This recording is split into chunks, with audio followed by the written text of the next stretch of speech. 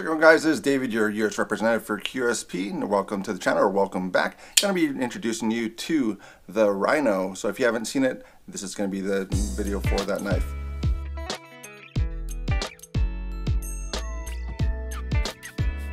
On the table we have a comparison. This is going to be the Penguin XL and we're going to be doing that against uh, these knives so you're going to have a difference between some of the ones that were the prototypes that have been out there so you've seen some reviews on it and the production side of things uh, so this is going to be the uh, production and this is the prototype so you're going to see a different blade shape uh, between the two of them so this is going to be what you're going to be seeing on the production side so it is a little bit different blade shape. It's almost like a Tanto uh, style. So this is actually the way it was drawn initially.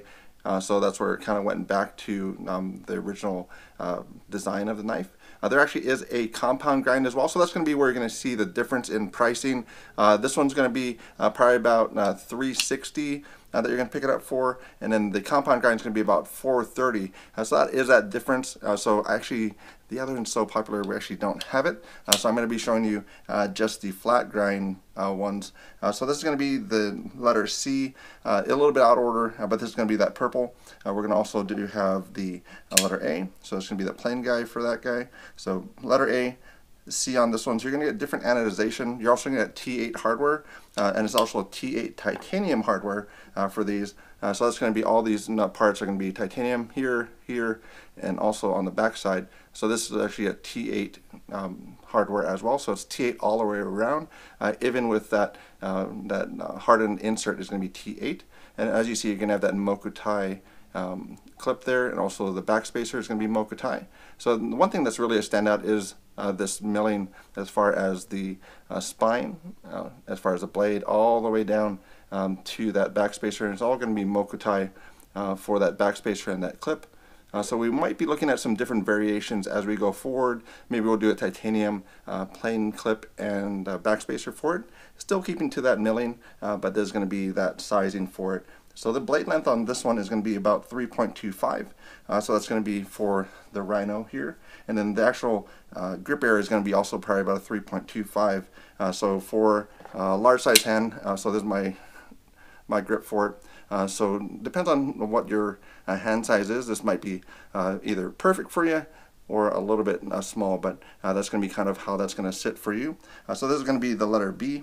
So this is first one is A, this guy is B, so a little bit different in coloration. So you're going to have a blacked out stonewash, also the blacked out handle, still with that um, that same type of hardware, so T8 all around.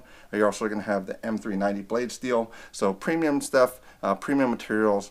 Uh, so if you guys know known us for uh, the items that we have for the OEM projects, uh, we have a lot of those things kind of ranging uh, from the budget side all up to premium. So even for those, uh, we do have those available. But uh, just come over to the main source as far as QSP, and then we have some other options. So we take you all the way from $28 all the way up to that $430 range.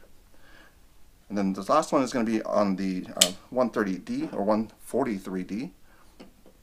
It's going to be more of that bronze style handle, so still titanium on it, uh, but that's going to be uh, that coloration you're going to get. You're going to have a different blade uh, finish. And then also between the uh, prototype and the regular one. So you can have it a little bit different for that lock bar relief. So this is the production one and has a little bit uh, easier access to that frame lock. And then the prototype side uh, was pretty flat for it, so it's a little bit um, less access. And also you do have a chamfer here. So with this pr um, production side, you do get that chamfer for some ease, uh, some premium feel for that as well. Uh, so there's going to be some good things that happen with that uh, for the production side in comparison to the prototypes. Uh, but that's going to be what it looks like again against that uh, XL uh, Penguin. So we do have the XL, we have the regular Penguin, and then we have the small Penguin or the mini Penguin, and we also do have a slip joint Penguin in the works. So come by and check that one out later, but we'll throw this one up here as far as all the other ones, and then you can kind of see what they look like. So that's going to be A, A there, B, C, and D. Oop, a little bit out of the frame there, so I'm going to move that up. You can kind of see how those are. Uh, for the different colors you get. And then we're going to go over to um, the website for it so you can actually see the difference between the other blades. Uh, so this is going to be uh, what you're going to have for uh, the standard one, so A, B, C, D. And also these are going to be the compound grinds, that's going to be the E and the F. So that's where you're going to see the difference. So that's where it gets a little confusing sometimes if you go, well, why are these more expensive? And it is because of that grind there. So it is a compound grind, so it's a flat tip, and then a hollow grind Uh, for that center section of the blade. But check those out. Let us know as far as what you think about those. And we are going to be having some other models coming out. So we'll have some other videos um, that will be on the channel too. Uh, so check those out. Also help us out with names uh, for those different videos. So the SHOT Show coverage, if that's available for you, go on YouTube. Uh, check those out with the different retailers. And then let us know as far as what you like and also uh, what names you like for those knives too. But thanks for stopping by and let us know what you have and join along uh, for this journey.